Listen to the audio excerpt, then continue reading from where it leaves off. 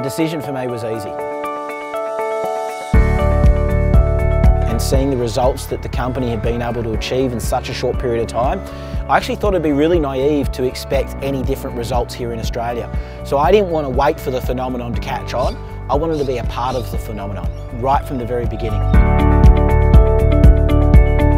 The reason I joined Purple Brick, there was just so much wasted time and things that we used to do as traditional agents. It just made so much sense where we're sort of putting uh, people backed by technology to give that ultimate service and getting that best possible price for our customers.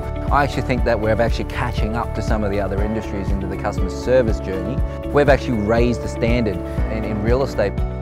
The culture and values that Purplebricks exhibits is something that everyone would want to be part of. It is team building, it's inclusive, it's supportive, it's nurturing. Everybody wants everyone else to do well. There is no competition between each of us. You can build a scalable business and you can have a team to support you. It's incredible.